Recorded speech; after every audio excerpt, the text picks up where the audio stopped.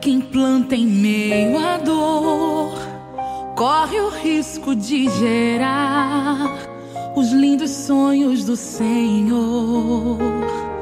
Quem luta em meio à perda, quem sorri por mais difícil que esteja, está se preparando para uma grande colheita.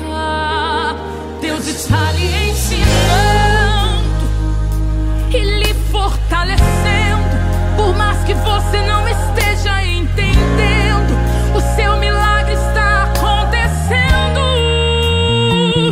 Depois disso, tem novidade de Deus pra você. Isso aconteceu